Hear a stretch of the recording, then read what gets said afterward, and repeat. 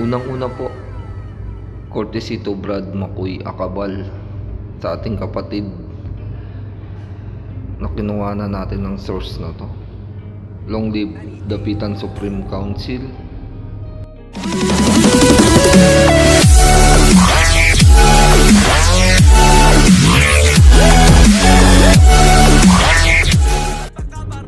Out of 145 neophytes. Yan, 87 nakapasa sa final initiation rite napakadaming mga neophytes na ito no? first time natin maka-encounter ng ganito. Ako sa tutusin first time ko lang nakita ng ganitong kadaming neophytes ayan solid acro napakadami oh.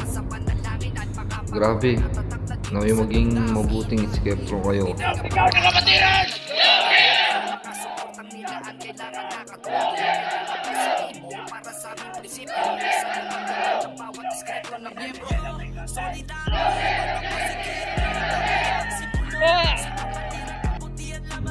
Grabe, no, napakadaming kapatid na naka-survive at naka-receive ng tunay na initiation rite. Saludo sa mga kapatid dito sa Dapitan Supreme Council. Long live sa inyo mga kapatid. Mahabang buhay sa inyo. Long live mga kapatid. Talagang sobrang saludo sa inyo.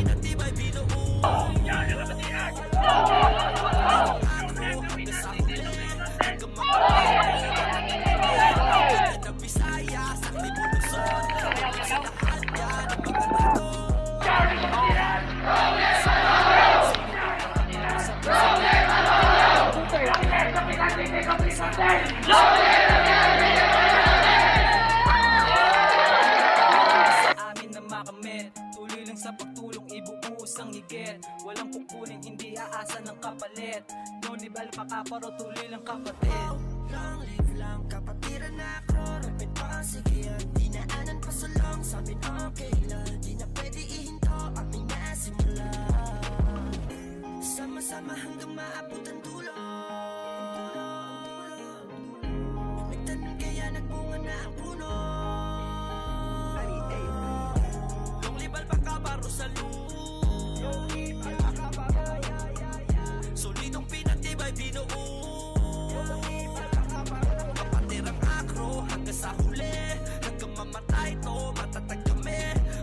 Bisaya, Sakni Buluson Long live sa lahat yan Ang mga dragon.